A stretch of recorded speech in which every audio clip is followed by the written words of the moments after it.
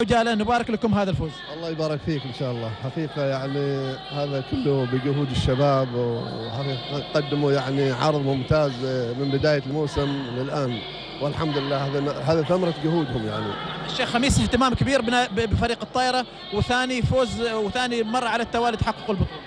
والله حقيقة يعني فريق الطائره يعني لا يقل اهتمام عن باقي الفرق في النادي.